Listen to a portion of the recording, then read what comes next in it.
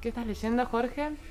Estoy leyendo un, un libro, no digamos, no es técnico, pero de alguna manera tiene que ver con mi profesión. Se llama La programación televisiva en guerra.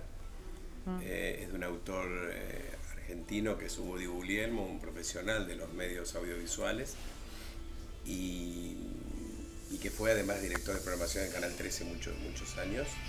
Con lo cual él a través de su experiencia tiene una mirada bastante particular acerca de, la programación en televisión en estos tiempos, con todas las, las problemáticas que presentan las nuevas, las nuevas plataformas eh, audiovisuales y por otro lado las cuestiones de orden comercial que hacen que no se cumplan horarios, que digamos la venta de, de los formatos televisivos al resto del mundo, este, el tema de la propiedad intelectual, en fin, me parece muy interesante y me ayuda mucho a, a comprender algo más de mi profesión. En estos tiempos, por la actualidad, lo decís. Exactamente. Por ejemplo, yo ahora veo que hay programas que duran media hora y que no están todos los días de la semana, como que perdieron No. un criterio, ¿no? Sí, no, esos son esos programas que duran media hora y que van una vez por semana, cumple con un formato, Mm, si es que te nuevo. referís a eso, nuevo. De todas maneras, eh, se habla de los horarios en cuanto a que el público, se supone que la televisión es acostumbramiento Mm. y el público no, digamos, no sabe cuándo ver un programa. Uno ve, termina un programa y dice a continuación de tal otro programa vamos a ver este otro, digamos. No se cumplen los horarios.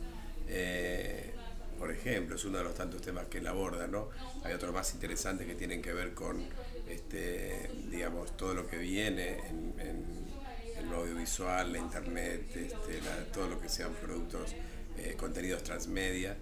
Eh, refiere también a, a las cuestiones de la, de la interna- internalización de los formatos, o sea, de, la- de los contenidos audiovisuales argentinos que se comercializan en el exterior. Mm. ¿Y algún otro libro que estés leyendo?